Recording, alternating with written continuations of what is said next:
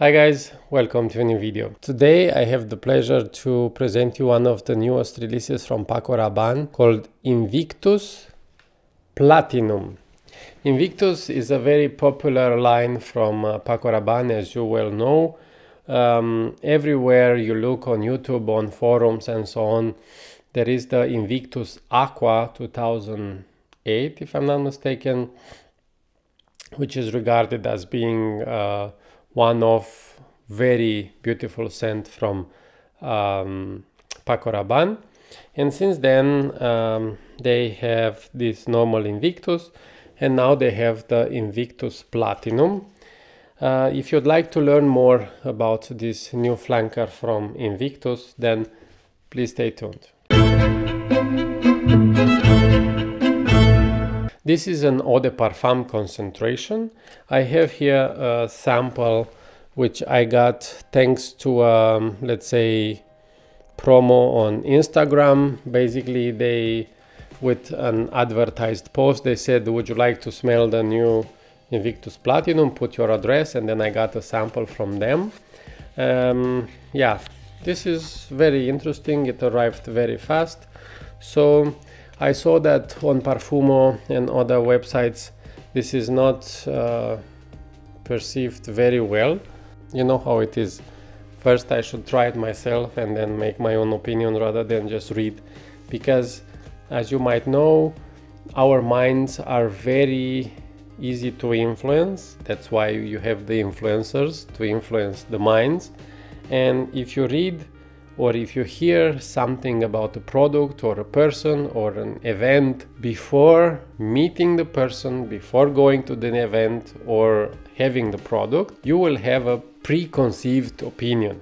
And in especially in perfumery, this is not very good because if you see that uh, some people say a perfume is not good is not lasting whatever this gives you kind of the same impression without even testing it yourself. And then yeah. So i will uh, spray now this invictus platinum go through the notes with you and tell you how i think is this new flanker from paco rabanne. So i'm gonna spray now.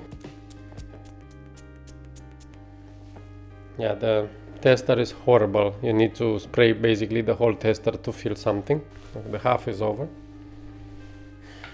So yeah, the initial smell that I get from this sample is really nice. It is sweet and fresh.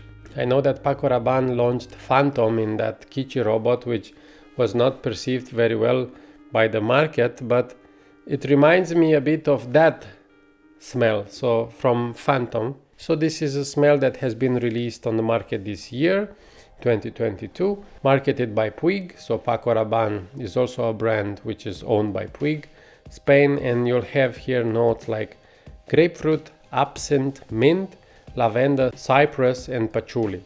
So from smelling this, I get kind of this feeling of a summer hit you know like when some bands like some new bands or like a singer in these modern times like with techno songs and so on is launching a very nice catchy song for the summer and then it goes away and you'll never hear again from that person or that band. This perfume kind of uh, gives me the same impression. So in here I don't think they have put a lot of thought or like uh, the brief was very complex to say I would like this and that.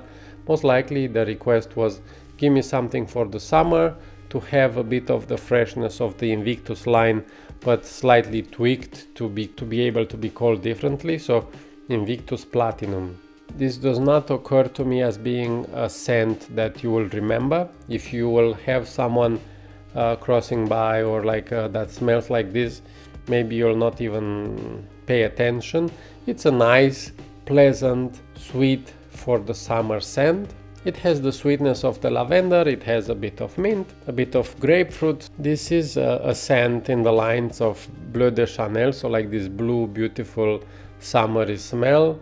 That one, of course, has more quality and substance into it. This one is just like a let's try to cash the cow of Invictus a little more. This sample is not very powerful in, in terms of spraying, so that's why I think I don't have so much projection and the longevity is quite good but you need to put your nose very close to this paper so So my impression is that it's a nice summery release. It will not break any records. It will not be something that people will fight over getting a bottle like it was at some point with Ombre Nomade when it was sold out from Louis Vuitton and you could not get a bottle because you needed to wait until they make a new batch. So with Invictus Platinum, I don't think it will be the case. It's mainly for the younger crowd, so I would see this better for somebody who's between 15 years old to 20. So like I guess this is also their market because you will have a perfume like this in a supermarket in a perfumery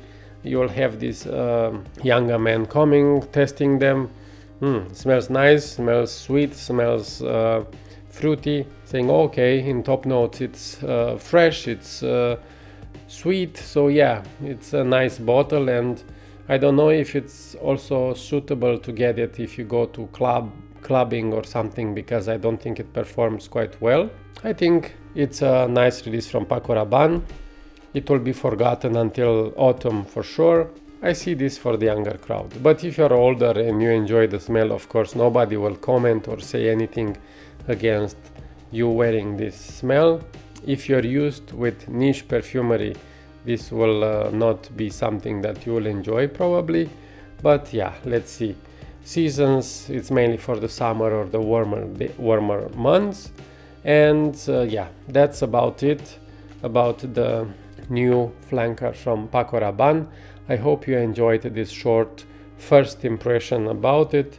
Please let me know if you have tried it or if you are curious to try this Paco Rabanne release and I hope to see you soon on the channel again. Thank you for watching. Bye bye.